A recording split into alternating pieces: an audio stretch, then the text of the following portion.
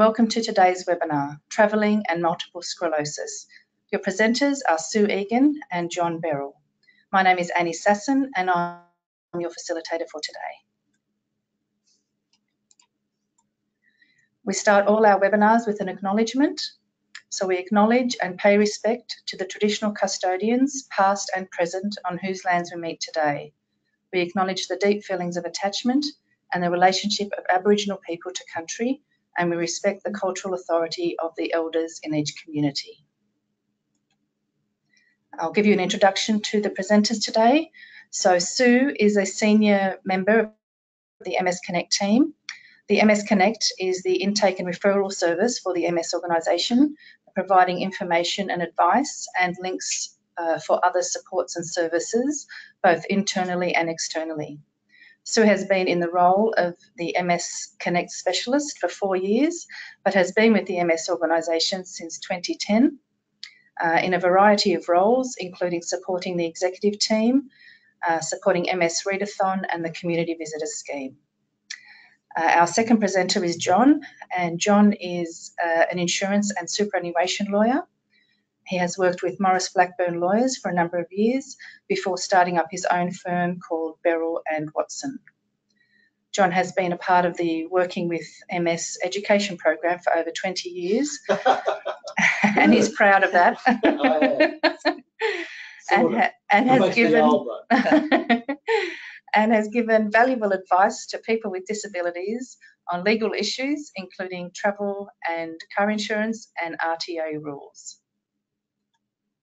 Okay, I'll now hand over to Sue, who will commence the presentation for you. Thank you, Sue. Yeah, you're welcome. Thank you.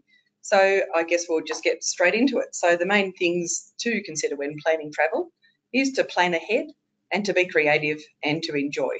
So when we're talking about planning ahead, we're giving you lots of time to organise your travel to get everything in order. So you need to talk to your neurologist well in advance of your travel and that's mainly in relation to any medications that you might need to take with you. So I think that's very important. So we would suggest that you take a letter with you that includes all the details about your MS, any conditions that you have, and med- medications that you will be travelling with you. Um, this can come from your neurologist or your GP. It's really important to keep copies of these letters both in your carry-on luggage and um, your main suitcase you might want to keep a PDF on your mobile phone as well. Uh, any medications that you take with you need to be in the original box, and that's really helpful to have the pharmaceutical details on it that lists you as the person who's taken the medication. And you need to research storage for your medications, and this is particularly important for people who are on injectables that may need to be um, refrigerated. So that's very important. So if you are carrying injectables with you, it's very important to inform the airline because you don't want to be on a plane and have your medications spoiled because they're not kept at the right temperature. Make sure that you can manage your luggage. So, you know, having the least amount of luggage possible is a really good thing. Um, consideration to your symptoms. So this is things like fatigue. Are you going to be able to manage to carry all your luggage? Um, suitcases, obviously, with wheels are fantastic um, maybe consider if you have a long haul flight to consider a stopover just to break up your journey. And if possible, take any equipment with you. Um, I think it's not very wise to rely on hiring equipment when you get to your destination, just in case it's not suitable. Also, have a look at where you're going. So, if you already have a disability parking permit, that might transfer um, to the country that you're going into. So that may just make things a little bit um, easier if you're going to visit somewhere like Buckingham Palace, for example. Um, you might like to be able to park closer because that's going to make your day more enjoyable if you're not fatigued with doing too much walking. Making copies of all your important documents, so we've talked about that already. Take telephone numbers of the Australian embassies and your local MS Society of where you're going to go, just in case. Um, and when you read something about accessibility, don't assume that it is. And I do remember a, a story of a chap who was going up New South Wales with a, a, having a caravanning holiday, visiting properties and caravan parks that did say they were accessible. He was in a wheelchair, and particularly with the main toilets um, in the caravan park he was staying, there was two steps drop down into the um, bathroom facilities. So do make sure you do your research. If you're travelling interstate, again, take a copy of all your prescriptions with you. And this last point is taking cash um, in different currencies, which is probably a conversation to have with your travel agent as well. There are limits of the amount of money you can take into some countries, so definitely don't want to get in trouble with that one. The use of technology to your advantage. So take your mobile phone. It does say switch on to ro roaming, international roaming, but that can be expensive too. So have a conversation with your provider just to make sure that you're not going to have come home to a very big bill. Have some contact numbers on your phone, what to do in a crisis, and that might mean, you know, your neurologist's phone number, your GP's phone number, your health insurance, um, and also use it for reminders, medicine lists. If you want to list all of the current medications on your phone, that's probably not a bad idea. Um, and maybe learn to use um, your, your, your Siri on your mobile phone. Use the internet to plan ahead is another good idea. Asking for help. So we're talking about using the travel agents, telling them you've got special needs. Um, consider using the special lounges at the airports. I did actually have a bit of a, a look at the Qantas Travel Club. It's about $500 to join and it's about $500 a year ongoing. So it's, it's, it's expensive, but if you do travel often, it might be worth considering. There are some concessions at some tourist venues, so worth, if you have a companion card with you or a healthcare card, um, always worth asking the question. And this last point says ask, but don't expect. Um, so if I can interrupt for a second, pardon me, Philip has asked, um, he's currently stopped work due to his MS and he's been able to access um, his income protection. Um, as far as travelling overseas, will that income protection can he utilise that for travelling overseas? I'll answer that. Okay. okay, John. Thank you, John. Thank you. Stay So- tuned, Philip. Thanks, John. Okay, so we've just listed some more resources here. Um, the Qantas travel card for domestic travel. Definitely, if you are travelling with Qantas, have a conversation with them to see what they do offer. The Multiple Sclerosis International Federation, MSIF, is a really good source of information. It does list all of the multiple sclerosis societies worldwide. MS Connect, where I'm working from. So if you wanted to have a conversation with one of our staff, we're 8.30 till 5 Monday to Friday. You can email us, you can do a web inquiry, we do live chat, and you can telephone. We do have um, MS nurses here, so we can have a conversation about travelling with medications. We have social work and OT advisors, peer support.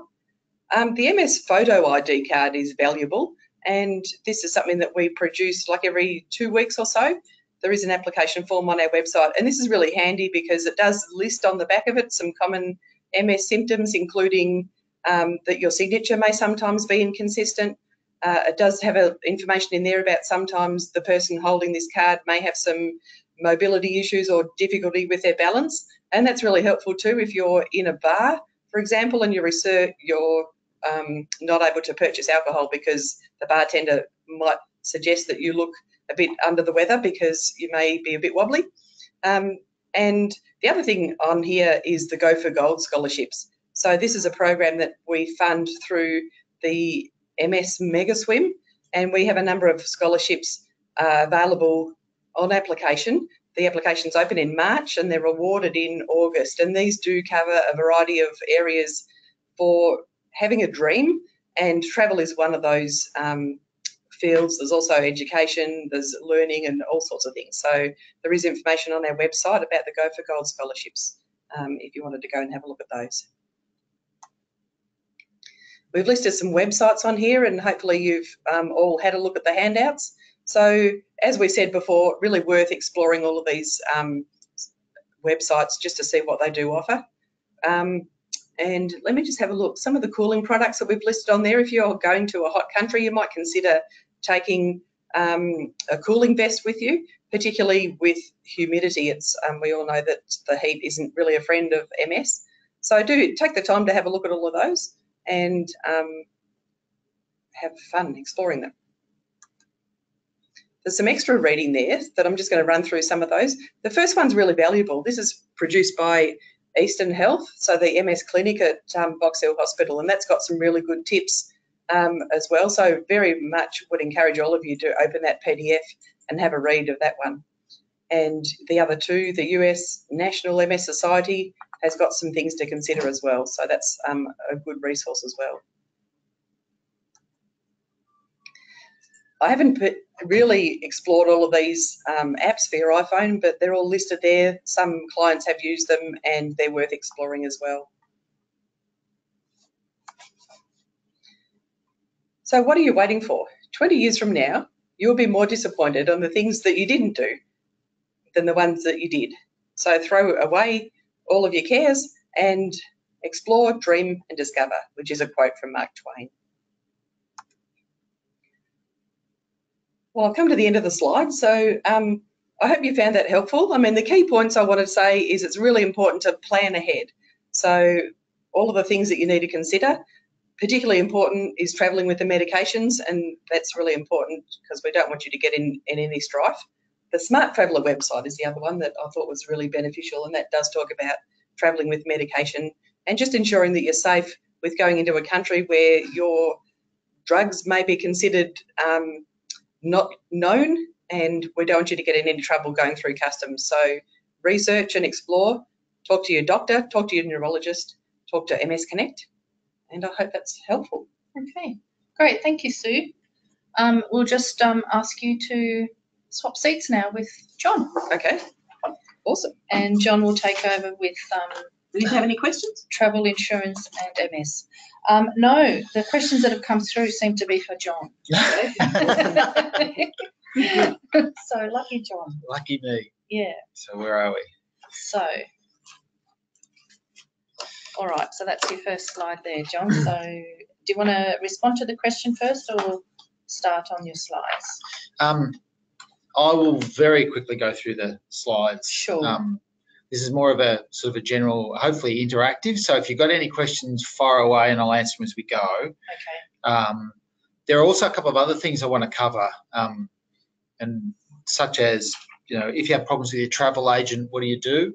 Because there's a there's a if there's a the travel agent association has a code of practice and it has a complaint scheme that you can go to if you're not happy with what your travel agent's done or if your travel agent goes belly up or whatever. Oh, okay. I'm actually on the code compli what they call the code compliance committee of that. So we deal on this committee. We deal with complaints about travel agents, um, and there's a couple of useful tips in that stuff. Yeah. Um, and then stuff and stuff around you know visas that you need. Just just there was one in the in the last one we did in the, the last time we had a meeting on those, which was just a terrible, a real red flag to people who are travelling about um, what they should do or what they need to do. Um, anyway, look, um, perhaps we'll do with Philip's question first. So Philip's question was, Okay, so Philip is about to, um, well, he thinks that he'll be stopping work soon and accessing his um, Income protection. Income protection. Yep. And he wants to know, um, is there a potential, are there any potential re- restrictions to travelling overseas when you're on income protection? generally speaking, not. Um, under most insurance policies um, for income protection, which is the, usually pays your monthly payments if you can't work, if you can't do your normal job for the time being. Um, if you're on, uh, depending on the terms of the policy, then if you're unfit for work, you put in monthly progress report forms. Once you're once you lodge your claim and your claim's accepted, then they put you on monthly pro- progress report forms. Sometimes, if it's a long-term disability benefit, they'll put you on three monthly. Right.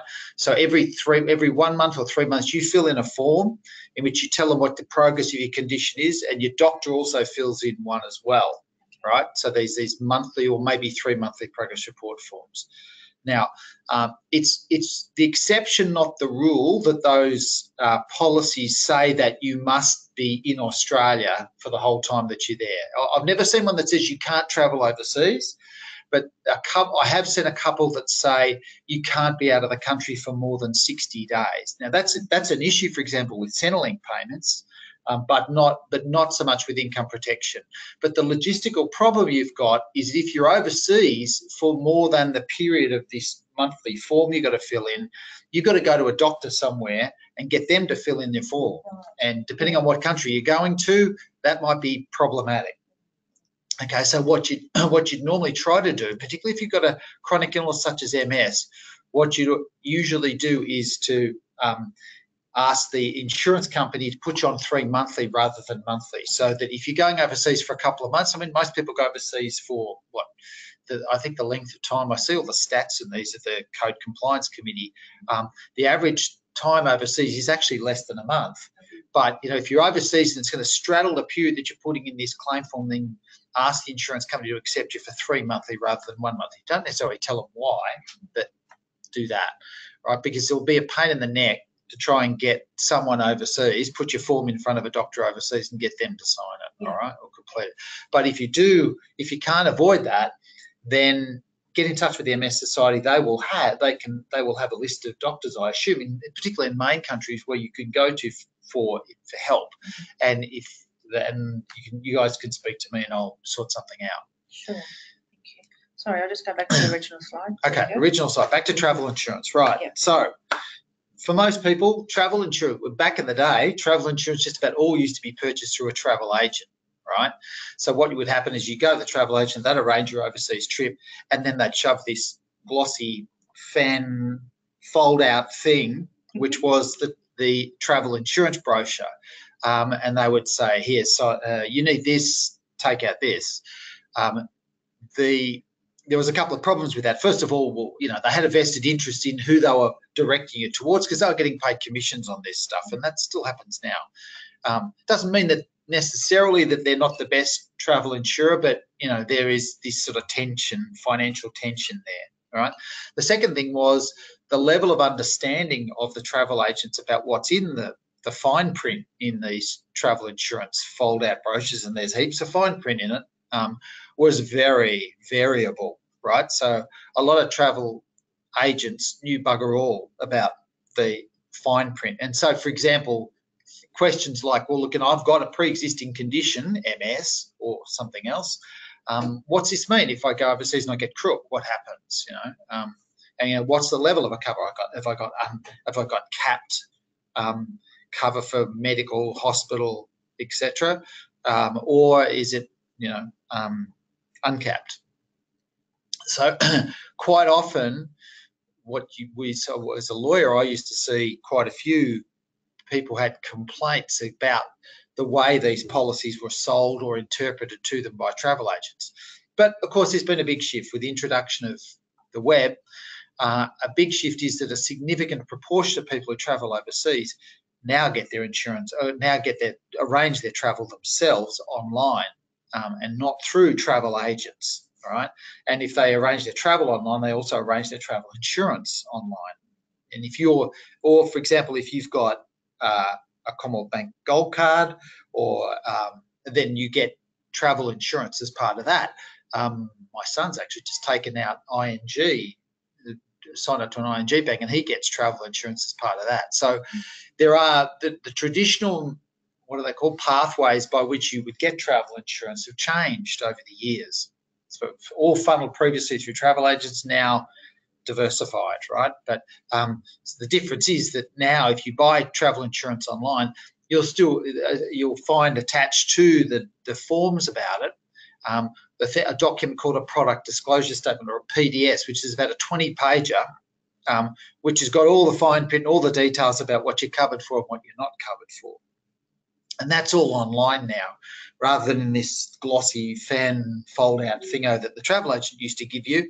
Now you've got it online. You've got to scroll through that to find out Mm. what you're covered for and what you're not.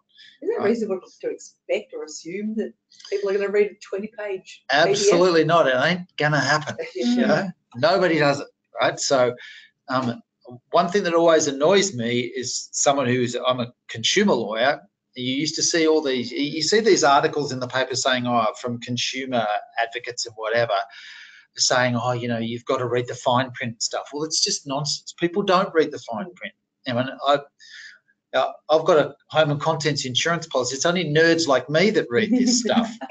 I, def- I bet you none of you guys have sat down and read your home and contents Well, insurance you have to be able to understand it too. I mean, that's the other Well, thing. that's right. May scroll through the first three pages and then just go, oh, that's Yeah, exactly. Yeah, Yeah. So, all I would say to you, or what, what I say to people is there's just a couple of things you need to look for, right? Um, so, so as that last line says there, people don't look at the fine print. So uh, there's a couple of key things I want you to look at. Which, which is the next page? That one, right?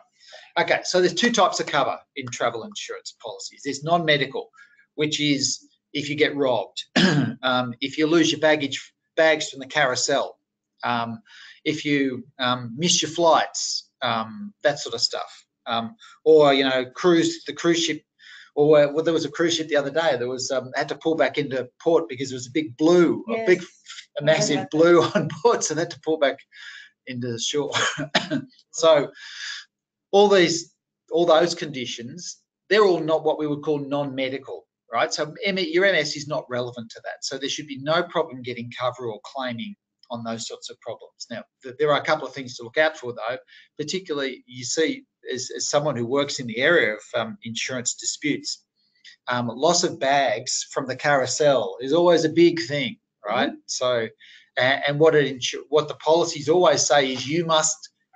You, the, the bags must be in your control, or you must keep an eye out for them. So you, you can't just sort of, I don't know, go off and get yourself a coffee waiting for the bag. So your bag goes around the carousel 10 times and then someone else racks off with it.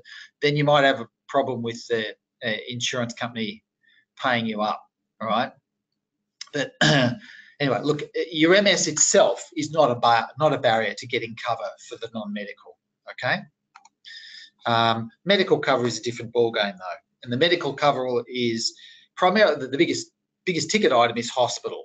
Right, so if you if you go overseas and you get hospitalised for whatever health problem, or if you need to go to a doctor overseas, or if you need to be sort of medevaced back to Australia, then this is where the health the health issue that you're claiming for, or that you're hospitalised for, that you're medevac back to Australia for, comes into play. And the medevac stuff is actually quite common, uh, and it's common because travel insurance companies, if they're on the hook for you, they want to get you out of that hospital in, um, I don't know, Zimbabwe Bulgaria. or wherever, or Reykjavik, which is where I'm going in May. Oh, Um, they want to get you out of that hospital and they want to get you on a plane and back to Australia because as soon as you hit Australia, you're not their problem, right? You're the Australian health system's problem. So they will be desperate to try and get you out of there. All right. So Medivac is a is a is a significant issue. But travel insurance for medi for medical cover, big issue is you, you don't want any caps on the cover. So for example, if you go to a country like the USA, where you know the where all the horror stories you you hear of are dead right. I mean, I've seen some horror, massive horror stories of people who get. I had one guy who was, who was in hospital. For, he was in hospital for six days. He needed. It wasn't a. It wasn't an um, MS related condition. It was a. It was a. He he had a blood condition and he needed a transfusion. And uh, he was in hospital for like six days, and the bill was over a hundred thousand US. You know, it's just Mm. crazy stuff over there. So you you must get no limits on your cover, right? That's really important. Um, uh, okay, so um, the medical cover is the key thing you need to look for.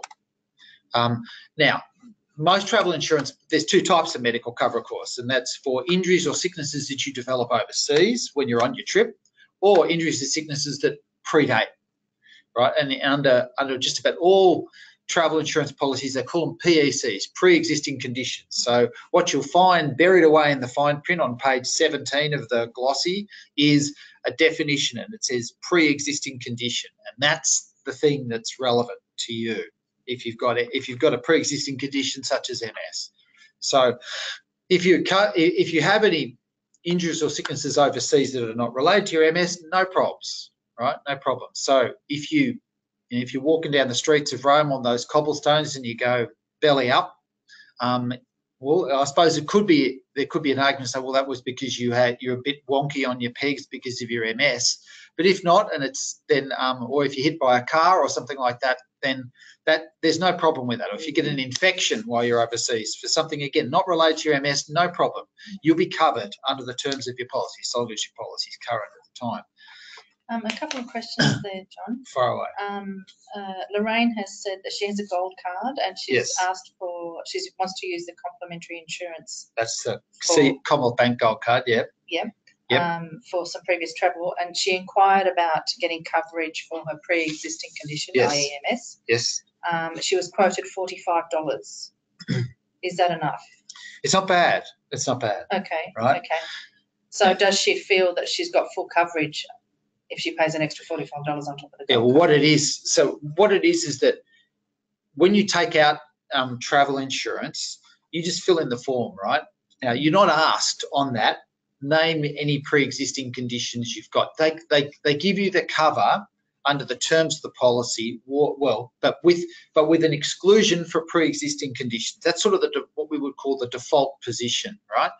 So, so if you've got this pre-existing condition such as MS, which means basically that you've got a pre-existing condition that you've had treatment for in the last X period of time. It's usually up to 52 weeks. Could be could be four weeks. Could be uh, two months. It could be 52 weeks. But most people with MS are on some sort of medication um, or getting some sort of treatment. So if you're in that boat, pre-existing condition, right? So if you're if the reason for your claim when you're overseas, if you only take out the default cover, which is the just filling in the form, normal form, and not disclosing your MS, you won't be covered for a that pre-existing condition. If you're not under active treatment, um, you might not get you might not be caught by that clause, but just about every pre every travel insurance policy now includes or has for a number of years now include included a sort of a catch-all, which is okay, even if you're not under active medical treatment, but you've got a uh, a condition, a chronic condition, then you're not covered anyway. Or sorry, you're not covered for the pre-existing condition under the default cover, right? But what the what the questioner is asking is, how do you then get cover for your MS? And the answer is you can, and you do that by filling in all the the travel insurance forms have got um, uh, a separate form you fill in. If you want to get cover for your pre-existing condition, your MS, there's a form you fill in in which you disclose your MS, you tell them what your the, the nature of your condition is, how it affects you, and you get and you get a usually get and the, the idea would be get a certificate from your doctor, preferably your, your neuro, your neurologist, saying that yes, you've got MS, but it's not affecting you to the extent that you would be an adverse risk of getting crook overseas. Okay, so if you get that, fill in that form, plus get a certificate from your doctor, preferably your neurologist, saying that you're not a an you're not a special risk of getting crook overseas. Put that into the insurance company, and they will make a decision about whether they will cover you not only for injuries or sicknesses that occur overseas, but also your pre-existing condition. Now, what the um, questioner has experienced is that yeah. Lorraine's experienced is that the insurance she's gone through that process and the insurance company says yeah we'll give you cover but we're going to charge you a lo- what we call a, a loading right? A pre- an extra premium for it. 45 bucks is sounds okay right? If that gets her the full cover lorraine so long, so long as that gets you the full cover um, including for the ms then as a general rule that would be okay it's standard sort of stuff right some people for some people they can't get cover for their pre-existing condition but you know, it does vary. It varies from insurer to insurer, and it, it's basically on a case case by case basis. The insurer will look at the nature and extent of your MS. So MS is not an absolute barrier to getting this cover, but um, you know, it, they'll look at how your MS is affecting it. Next question. Great, thank you, John. Uh, Birgit has asked, um, uh, will my insurance cover uh, damage to walking aids, wheelchairs, etc.? Will- Does it extend to? Yes. Yes, it can. Um, so if you get if you've got walking if you've got other materials right and they get damaged overseas then yes they will be they will be covered as a general rule you got to look at that you got to look at the terms and conditions so some insurance policies will cover will limit the cover you can get for baggage. Some of it uh, for example with particular items such as valuables there's caps on them like you know watches it might be a thousand bucks or mobile phones it might be 500 bucks. So generally speaking you can get cover for those things. Now if you can uh, the question is can you get cover for other incidentals such as walking aids etc you'd have to apply for the cover. I think you'd have to apply for the cover to make sure you get the cover for it, and then they make a decision on a case by case basis. But put it up. Yeah. But don't don't not disclose it to them. Disclose it to them and say, can I get cover for that? Yeah, yeah, All right. All right, Always fantastic. important stuff. Another one. Um, yeah, Philip has asked, is there a list of insurers who may be, um, I suppose, sympathetic towards MS clients um, or people with MS? Yep. Um, is there a list of uh, known ones that we could? We do at Yeah. MS Connect. We've got a document, and we don't necessarily endorse any of them, but we have over the you know course of time heard that some people have gone to this company and they've got a good deal. Hmm. So at MS Connect, we do have a list that we can email to Oh, people, okay, but it's also make your own inquiries. What sure. Sue said. okay, great.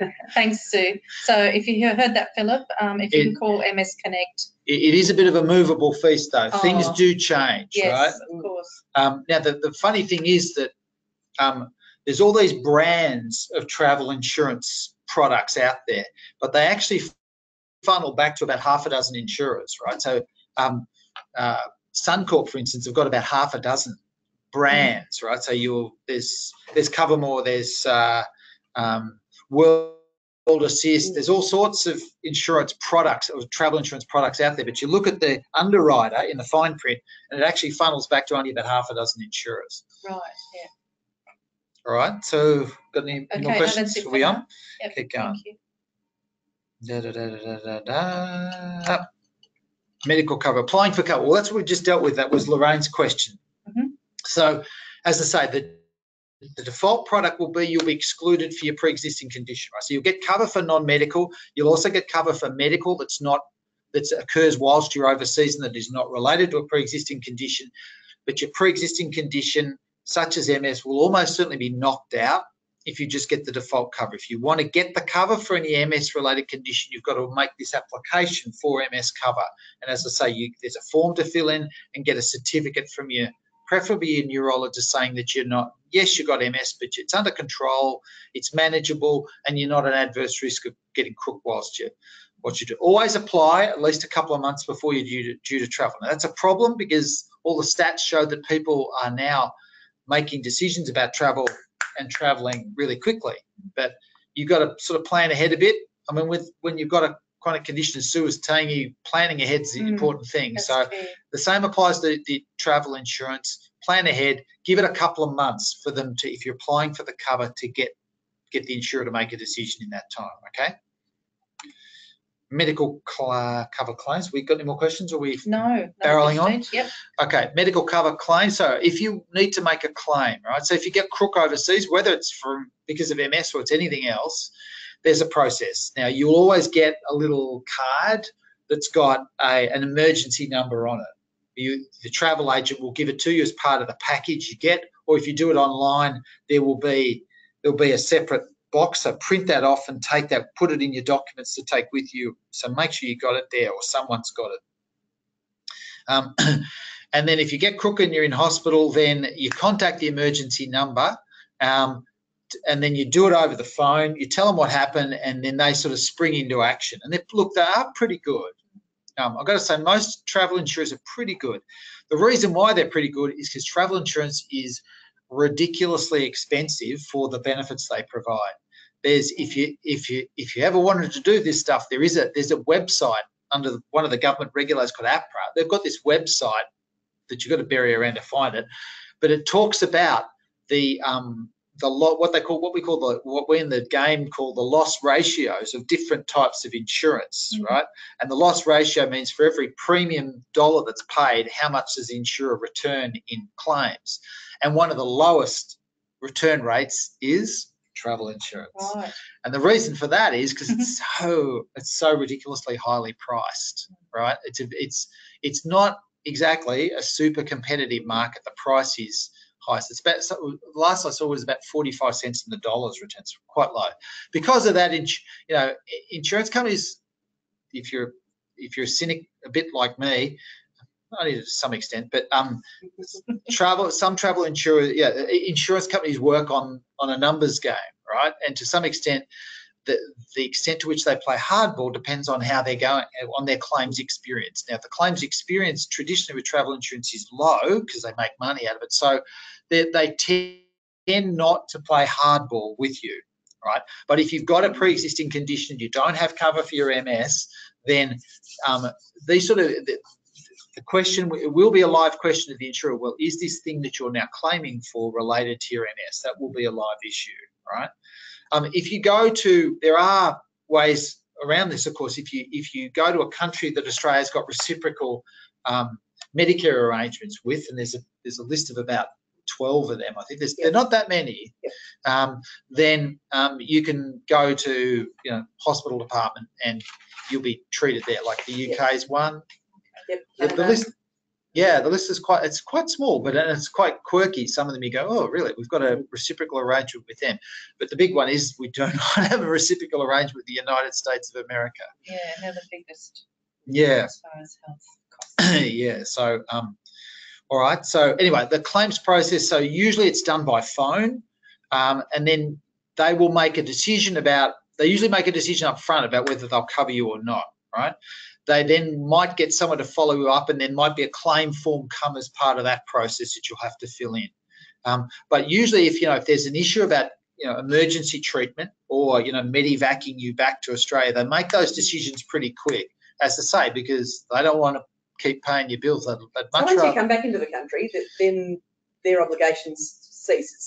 done. So then it's like Medicare or your own private health insurance Correct. that takes over. Correct. Yep. So that's why they get you on a plane. They'll they'll, they'll pull out a couple of seats and push you put or put you in first class or whatever. They'll pay the ten grand or fifteen grand.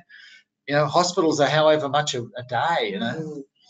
so that's why they they're they're into that stuff. Anyway, if you if you go through the claims process, under there's a, a code of practice that governs these insurance. Th- This insurance is called general insurance, as opposed to life insurance. So under the code of practice, an insurer must make a decision within four months. There are some exceptions to that. If they don't make a decision, if they reject your claim, there's a there's a complaints process you can go through, which is the net that slide there, right? So if you lodge a complaint, they have 45 days in which to make a decision on the complaint. Your complaint gets elevated up the food chain to a complaints officer. They make a decision. If they don't make a decision, or if they, or if it's a no, then you've got the right to lodge a complaint to an ombudsman, which is that mob down the bottom, FOS. Although that's about to change because the government has introduced a change to amalgamate some of these ombudsman schemes together and FOS is going to change its name, but it's it's not going to make any difference. There, there still will be that appeals process you can go through. All right. Now you will, if the decision is we're not going to pay you because your condition is related to your MS, um, and you don't have cover for MS or your cover is limited or whatever, then you need to look at things such as getting medical reports to say no, no, this is not related to my MS. So say if you fall over on the street and the insurance company said, well, that was because of your MS, and you say no, it wasn't, and you doc, you get medical evidence or other evidence to put together. That's what you sort of that's what you're looking at. You've got to nail down what the issue is and then deal with it that way. All right, but it's a good idea to It get is help. difficult. I mean, and particularly with the cobblestone sort of scenario, Yeah, somebody with MS might have um, might fall over purely because their balance is lousy, but anybody in the normal population May They also have yeah. a struggle with I've done it. cobblestones. yeah. Mm. yeah, yeah, So when you say getting evidence, so obviously a doctor's note or certificate to say that, you know, generally your balance is okay. yeah, What about eyewitnesses and Yeah, all that kind of stuff? exactly. Or photographs of the area that you. Yeah. Oh, yeah, that's a good helpful. idea. Yeah. Photographs. Yeah. Yeah, that's great. Yeah. Or if you're um, like we went to see our son in uh, in Jakarta a while a couple of years ago, and the footpaths there they've just got dirty big holes in them. Yeah. So you're sort of jumping over holes. It. It's you know anybody could. It's like a jungle, yeah. Yeah. I recently came back from India and they've got like the footpath and then an open hole to the drain under the road. Yeah. Oh, I mean, it's so unsafe. Yeah, yeah. Crazy. So that's what that's where the planning that you're talking about comes into into play. All right. So where we got now resources. All these these are your resources stuff. Now let me talk about a couple of other things. Yes, Right. please do. We've got Um, plenty of time. So, uh, as I said, there is, um, if you do get your arrange your travel through a travel agent, um, there are, you know, most people's travel agents are great. I mean, this is I deal with um, area where things go wrong. That's that's my role as a lawyer. Um, so I've seen many cases where people have been unhappy with conduct or decisions of their travel agents or what the travel agents arrange for them. If, you, if you're not happy with the, what the travel agent's done, then there is there is a complaints mechanism you can go through. You can lodge a complaint. You can ask them. You can tell. First of all, you're going to go back to them and say, "Look, I'm not happy, and this is why," and put it in writing to them. If you're not happy, then if you're not happy with the outcome they put they put to you, then then you can go to a thing called the it's called the ACCMC, which don't worry about that, but um, it's a complaints body, right, that deals with complaints against travel agents, uh, and you can get an, a, a, remedy out of that. Okay, so and I say I'm I'm one of the consumer reps on the on that on the panel, the Code Compliance Committee in that. So we deal with complaints people lodge against travel agents. Now, not everybody goes to a travel agent, and only about two thirds of travel agents are covered by the Code of Conduct. But the main ones are, you know, if you go through the main travel agencies are, are under it. Uh, yep. You know, Escape Travel, you know, Flight Centre, Flight Centre, all of them. They're all they're all part of the. They're all covered by this code and the code compliance committee. So you know they they make undertakings to put things in plain writing to you, all that sort of stuff, and you know and follow through on what your options are. So I mean there are the sort of issues that if you've got balance issues or walking issues, so things like um, you know how far if, if you put part of a tour if they put you on a tour but the tour requires too much walking or something like that or the distance between the train and the drop off or the pickup point is too far and it doesn't accommodate your disability, then those are, they're the sorts of things that we see at the Code Compliance Committee. So, look, hopefully none of this comes about. Look, and with most complaints, it's about communication. You just got to communicate communicate clearly to your travel agent what your limitations are tell them this is what this is what i want this is what i need to accommodate my disability. Um, just make sure this fits in with it, right? But things can go wrong, and if they do go wrong, just keep that in your back pocket. That there is there is a mechanism you can go through if you're unhappy with that. Is it always a good outcome for the consumer through the ombudsman? No, process? not always. So I wish it was. What kind As of consumer app? I wish it was. Yeah. no, that's not. What kind of um, claims are knocked back, or what kind of incidents will be deemed uh, if, yeah, if the travel agent has actually done the right thing, and if the person's expectations were over and above what the travel agent mm. contracted for, what they what what they done, what what you had agreed to at the start, some people's expectations of the of what that agreement is are different from what sort of the documents show. Right. So that's why I say it's really important to say to them, look, this is I've got MS. This, this is this is what it, this means to me. Um, so this is the sort of thing I need with the, the with the tour you arrange. It's, I mean, travel agents don't only not, don't only arrange your flights; they arrange, you know, the, the bus trip. They arrange the transfers. They arrange the, the boat trips, that sort of stuff. So that's why it's really important to put it forward and say, you know, well, what is available. um, one tip that I think is really great is take a walking stick with you, and even if you don't normally use it, if you're out and about on a tour and you have a stick with you, people seem to give you some space and see you're coming and they get out of your way a little bit more. So, you know, even if you don't normally Otherwise, use you a beat them over stick, the head with it. well, yes, you can do that too. But that's just really helpful too, and it's just a, a visual awareness because we all know a lot of um, people with MS have invisible symptoms. So, um, I guess having a walking stick says, you know, I may have some trouble walking.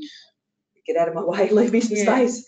Yeah. Um, I just think that's a good useful tip. Yeah. Let me give you another another tip. Um, sure. Two other tips actually. One really important thing these days, and I've, we've seen a number of these at the at the uh, Code Compliance Committee with the, the, Travel Agents Association, is visas, right? Temporary visas. Mm-hmm. Now, if you go into the states, for example, there's a temporary visa called an ETSA. ETSA, I think it's ETSA. Yeah. So you've got to get a temporary visa if you're going to the states. Mm. But there are a number of other so but and most travel agents will be all over you saying, right, you need an ETSA visa. But you can get it online. It's easy to do but you've got to have it. If you don't have it, you can't get on the plane. They won't. Okay. You will not be going to the states. Or if you arrive without one, they'll sh- they'll send you straight back. Mm-hmm. But there are other couple of other countries that have gotten like one of them is Canada, and um, you know you can get bizarre sort of scenarios. Like um, I, we we saw one. I saw one recently where what happened was that this couple were flying from Europe to the states and they were having a transit stop in uh, somewhere in Canada. It was a city in Canada on the way there, right? Um, and um, much as it was a transit stop, which means you're not staying in You're not Canada leaving the airport. And you're not leaving the airport, but nevertheless, you actually go through customs in Canada. And because you go through customs, you need you needed a um, a visa, right? So even so, was this this couple they had no idea about this, and you'll get with some even even if it's not with through a travel agent, you'll get general warning saying, "Oh, you got to make sure your visas are in place." But it really is important um, because what happened in this couple's case was they weren't allowed on the plane in uh, in Europe to go to Canada to the states via Canada, Mm. and they then madly applied online when they were at the airport to, to get this visa, and they got it, but it was too late. The plane had gone, and they had to go and buy a ticket for another plane, and it cost them significant Oh. I've heard similar horror stories about people travelling to Asia who have had less than three months on their passport Yes. to expire. Oh, Yes. That's another thing that really is really important. And then you may Yeah. have four months on there, but then if you get delayed because you're unwell or you travel, you might end up having an expired passport. Yeah. So Yeah. really important to have Important a stuff. good um, amount of time left on your passport. So if you're going through a travel agent, the travel agent will they're usually all over those, um, and they will tell you this stuff. Yep. But ma- even even if you are going through a travel agent, don't take it as gospel. Check it yourself, right? But if you're not going through a travel agent, this stuff's really important, Yeah. right? Because it can make the difference between you being allowed on a plane or not, or being stuck in some transit lounge with Yeah, nowhere to go really yeah, one other thing, one other thing I always find is that, and this is just a little tidbit, is that um, when you arrive in a country and you're filling in the, you know, the, the form to, to the customs form, they always ask you where are you staying. You've always got to have some place. You can't. You, you've always got to have an address, Mhm. right? And if you don't have an address, they won't let you through. Yeah. Yeah. So you even if you don't know where you're staying, if you have a connection or a somebody you know, Yeah. you you know, offer their address. Oh, it's, it's always it's always important to have you know your first night's Mm. accommodation sorted. Sorted, before yeah. you go. And then one other thing is um, uh, what happens. See, if you if you book through a travel agent or if you book through a scam website, what turns out to be a website that's a scam. Um, if, if you book through a travel agent, um, you will pay the travel agent the money for the for the travel, right? The travel agent then holds that money and then they then they arrange the tickets, etc. and they pay it. But there's there's usually a gap. There's a there's a gap between when you pay them the money and when the ticket when the tickets are actually booked, etc. Right now, that that money is not kept in a trust account. That money is kept by the, the travel agent. Now, um, what used to be the case was if the travel agent then went bust, for example, or if you booked it online yourself and there was a it was a scam, then you're out of pocket, right? You can be out of pocket. Now, if it was done through a travel agent, it used to be the case that there was a thing called the Travel Compensation Fund that would compensate you for your loss up to a certain amount. With the new with the scheme that's in place now with the Code Compliance Committee, there's no such Oh, there's no such compensation. So if you, if your travel agent goes bust, or if you um, or if you book it online yourself and it turns out to be a scam, then you've blown your dough. But if you do it through a, your credit card, then there's credit chargeback, right? So you can usually then reclaim that money. So Yep. and it, you've but there's usually a limited time to do it. It's usually I think it's about sixty. I think it's sixty days, right? So there's this thing called if that's if you do it through a credit card. Now, more and more people these days are trying to avoid credit card fees. So they're they're doing it by debit card or doing it sort of through a cash transaction where they don't pay these credit card fees. But one thing to keep in mind in balancing that up is that the credit card fees do. Uh, you've got this credit chargeback arrangement under most of these where you can. It's a bit like Recover insurance that. without having insurance, isn't it? Yeah. So yeah, And also you get frequent flyer points or some kind of points. points, yeah. Loyalty program. yeah. So that's sort of general stuff. I hope Okay. we've covered off. Any more questions we got? Um, no questions, but David's asked about the recording. And the recording will be available and I'll put it onto the website uh, within a week or so. So that'll be available for everyone. But well, sorry, I've just got maybe I should just Sure. say a couple of other things. Um, Yep. One is, and this is related to what Philip said before. If you travel overseas and do it, it's such fun, isn't it? Um, Heaps of fun. Yeah. You never come back and say, I wished I'd never done that. Yeah. Um, Exactly. uh, I've lost my train of thought. What was I going to say? Something um, about Philip.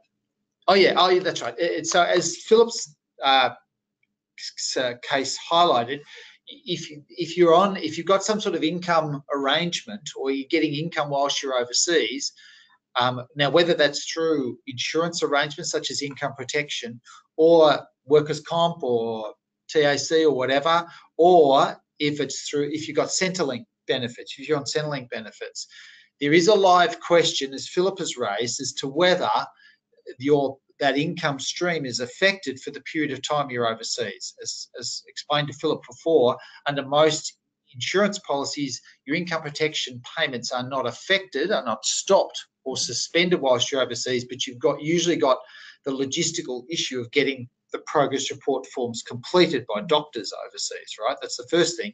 The second thing is Centrelink payments, right? If you're on if you're on Centrelink payments, the cutoff is usually a month, right? If you're if you're going overseas for more than a limited period of time, then your Centrelink payments may be suspended or stopped.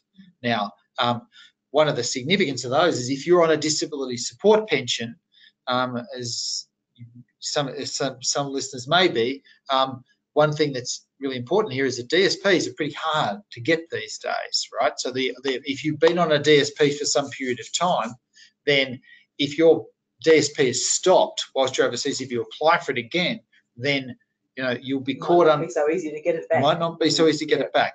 And so what what we often say to people, because I'm involved in the um, uh, a mob called the Social Security Rights Victoria, which gives people advice about Centrelink issues. What we often say to people is if you are going overseas, if you're on a DSP and you're going overseas for more than the sort of the minimum period of 31 days, then ask Centrelink to, you can apply to Centrelink to get permission to, to go for a longer period. But do keep in mind, if you do that, your file gets on someone's desk. And if you're on a DSP, it is possible for Centrelink to review whether you still satisfy the current requirements for a DSP, which are pretty steep. So if you're on a, whereas you know, if you've been a long-term DSPer, you might have got on a DSP under the old, more generous rules. But if your payments get stopped, or if they review you, then you might be subject to the new arrangements. So always get advice on that stuff. Now you can get advice through the MS Society. Um, I I work with uh, Social Security Rights Victoria, which gives advice on Centrelink issues. I know all about income protection. I know all about travel insurance. I know all about superannuation. So if you've got any questions anytime, give us a call or contact these guys and um, we'll sort it out for you. It doesn't cost anything. Yes, free of charge. Okay, great. Thank you, John. Um, if there's any more questions, please um, type them through now. And while we're doing that, I'll just step through some NDIS um, information. Yeah. Um, thank you, John. Okay, so on your screen there, you'll see that there's a couple of um, resources that um, you may be interested in reading. Um, if you can't get a hold of them either through print or ebook, uh, perhaps if you call MS Connect and we'll be able to um, let you know where to get them from. Mm. Respond is the right word. Thank you, Sue. Thank you, okay, so um, as I said, if you have questions, please let us know. Um, uh, if there are any questions that aren't responded to today, please call MS Connect on 1800 042 138 or email us on msconnect at ms.org.au. And I noticed, John, you called us the MS Society, and we used to be called that many years ago. We are now called My just bad. simply MS or Multiple Sclerosis Limited. Um, but MS Connect is the first port of call. Yes. Yeah. All right, no worries. Thanks, John. You're forgiven. okay, um, just a word on the um, NDIS. Um, as many of you may know, it's a major change to the way disability supports and services are funded and delivered. Um, it affects the availability. Sorry, if you're under, uh, to be available for it, you need to be under 65 years of age, um, satisfy residency requirements, and demonstrate that your disability substantially affects your daily life. Um, the scheme promotes choice, control, and social and economic participation. It provides a whole life approach, um, whole of life approach. Um, it is not means tested. It uh, provides reasonable and necessary supports and services and it ensures equity of access. Um, here at MS, we can help you understand the eligibility requirements and the pathways to access the NDIS. Uh, we can help you um, prepare for your planning conversation. Um, we can help you understand your current supports, and if you have any unmet needs, we can also assist there. Um, and we can also help you to develop your goals for the future. Uh, the MS organisation is registered with the NDIS um, as a provider, and we provide several um, supports and services, and they're all listed there on the screen. If there is anything that you're um, uh, needing or wanting assistance with, we also provide support coordination and connection. So we have a, an NDIS team here who are ready and willing and able to assist you um, to discuss your plan or to get your plan underway uh, or enacting your plan. Um, so the number there is uh, the MS Connect number. Okay, so thank you very much everyone for attending today. I hope that you found it um, useful. I know that I got a fair bit of information from John. Thank you very much, John. I'll take a bit of that on board. And thank you to Sue for your um, input as well. Um, now, at the end of the webinar, before we close off, um, your screen will come up with a um, a short survey. If you can please uh, give us your feedback on today's webinar, it would be very much appreciated. Okay, um, I'll just check and see if there's any more questions that have come through. Um, a fair few people saying thank you very much for the webinar. Um, uh, Birgit is asking, what about travel for people with significant disabilities or people residing in a nursing home? I'm assuming someone in a nursing home would not be travelling so much.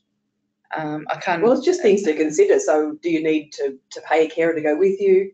And the key is really in the planning. I mean, people who are in wheelchairs do travel a lot, but it may be difficult with accessing the toilet on an aeroplane.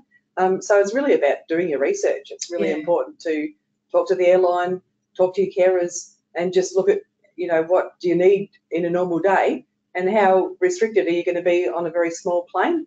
Um, and there is considerations about, um, you know, when you get to the airport, generally you check in your own equipment and then they put you in their equipment. Um, it's, yeah, a lot of things to consider. So really mm. important to do your, your research. Yeah, absolutely. All right, I hope that's um, answered that sufficiently for you. Um, okay, uh, it doesn't look like there's any more questions come through. So once again, thank you everyone for attending today. And um, any questions, please feel free to call MS Connect on 1800 uh, 042138. All right, have a lovely day. Thanks very much for attending. Bye for now.